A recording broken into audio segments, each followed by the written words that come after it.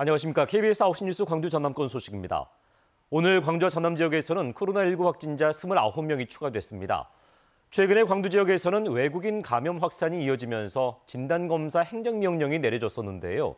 2만 2천여 명이 검사를 받았고 이 행정명령은 오늘로 마무리됐습니다. 이 밖에 광주와 전남 지역의 코로나19 관련 소식을 김정대 기자가 보도합니다.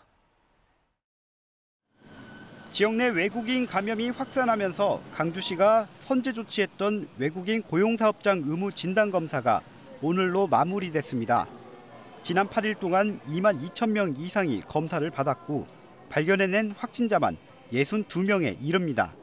앞서 광산구 등 외국인 밀집 지역에서 발생한 확진자까지 더하면 최근 한 달간 광주의 외국인 관련 확진자는 현재까지 227명으로 전체 확진자의 26%를 차지합니다.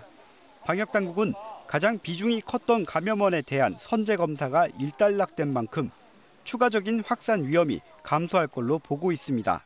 9월 8일부터는 좀 줄어들고 잠정적으로 조금 이제 잡히는 그런 수순으로 지금 지난주 일평균 30명을 넘기던 확진자 수도 이번 주 들어 28명 수준으로 줄었고 코로나19로 인한 치명률과 돌파 감염률이 감소세를 보이는 상황.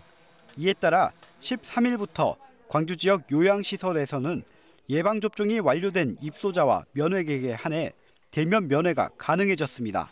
한편 인구 대비 백신 1차 접종률이 전국에서 처음으로 70%를 넘긴 전라남도지만 지난 6일 진도에서는 모더나 접종 대상인 주민 12명이 병원 측의 착오로 아스트라제네카 백신을 맞은 것으로 확인돼 진도군은 해당 병원을 백신 접종 위탁 의료기관에서 배제했습니다.